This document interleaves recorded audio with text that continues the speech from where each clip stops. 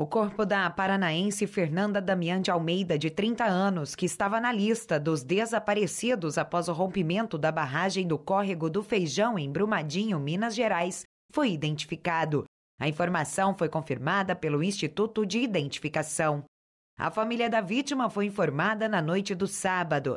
Fernanda estava grávida de cinco meses. Ela morava em outro país e veio para o Brasil para comunicar à família sobre a gravidez. Após ter passado por Curitiba em visita ao pai, que é bombeiro aqui no Paraná, ela seguiu para a pousada Nova Estância com o noivo.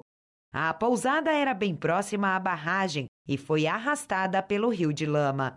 Além do casal, estavam na pousada o pai, a madrasta e a irmã do noivo de Fernanda.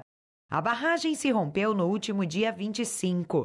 Até agora, as autoridades já contabilizaram 169 mortes com 160 corpos identificados e 155 pessoas ainda estão desaparecidas. E na lista de desaparecidos está mais um paranaense, Noel Borges, que é de Campina Grande do Sul, região metropolitana de Curitiba. Ele era funcionário de uma empresa que prestava serviços para a mineradora Vale.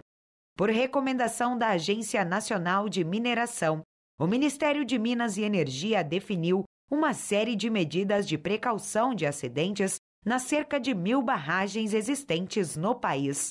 A medida inclui a extinção ou a descaracterização das barragens chamadas a montante até 15 de agosto de 2021.